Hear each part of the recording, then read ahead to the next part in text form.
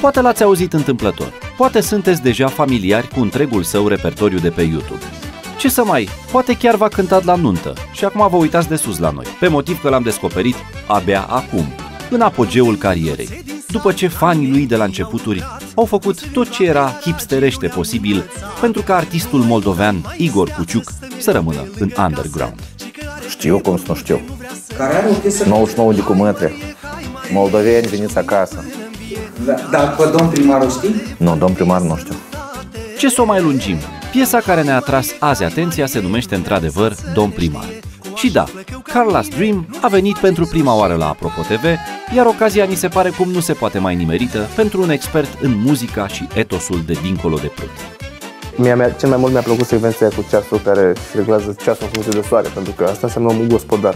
Când te duci la țară, nu trebuie cât e ceasul și se uită toți la, scot toți ceasurile de la piept. Cât e ceasul? 12 și un sfert, știi? E, ăla simte vremea.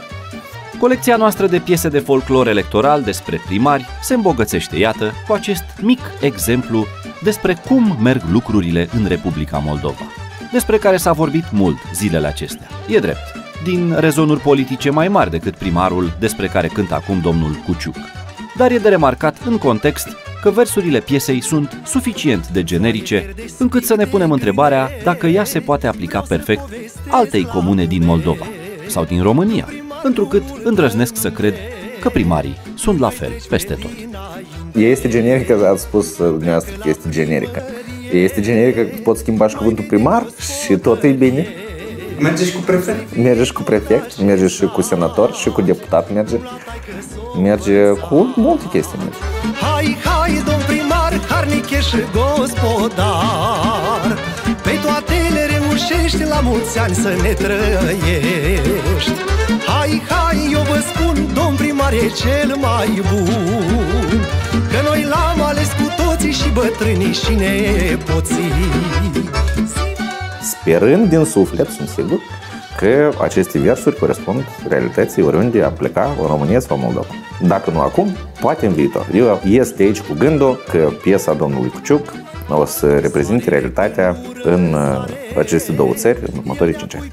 Mie mi s-ar fi părut foarte frumos, așa și poetic, să vină artistul Igor Cuciuc să propună. Bă, ce miște primarul ăsta. Eu vă admir, deși nu locuiesc aici și aș dori să vă închin această melodie, domn primar. Toată stima și respectul pentru 10.000 de euro. și dacă se poate un teren aici în uh, sat. Permiteți-mi pentru ca să vă încânt. Dacă se privește asta prin turism uh, electoral, atunci clar că sunt pute treaba un pic. E, e, e foarte simplu să găsești sau să ne imaginăm, de exemplu, un, uh, o comunitate în care primarul este așa și așa și vine Igor Cuciuc și uh, slăvește primarul care de fapt nu merită, să spunem, laude, da? Furat bugetul acolo sau nu știu ce a făcut, da? Atunci e o situație. Pe de altă parte, sunt foarte mulți primari, atât în România cât și în Moldova, care își fac treaba bine. Dar e cadrul ăla super, superb cu artistul care vine în primărie, ai văzut? Care vine în primărie, toți ăia stau acolo și au notițele de la domn primar.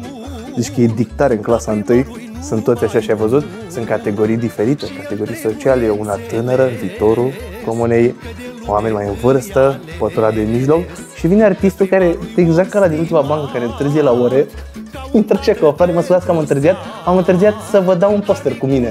Fii atent. Și dă poster cu el. Primarul a scris number one, a scris 1, ai văzut? Și îl lipește la vizier. În caz că cineva în sat, când trece pe lângă primărie, se întreabă Da, Igor Cuciuc, dacă ar fi să-l punem pe o scară așa, de la 1 la 10, pe ce loc ar fi el? Car, tati, number one. Nu este foarte respectat, el cântă bine, el e muncitor, el lucrează foarte mult, el pleacă foarte mult și în diaspora, asta știu. El mi-e place, îmi pare că își face treaba bine. E posibil să fie și o admirație aici da. de ambele părți. Da, de ambele părți. Sigur, altfel, altfel nu e și atât de mișto. Nu e, are cum să iasă atât de bine dacă nu e love-love situation. Da.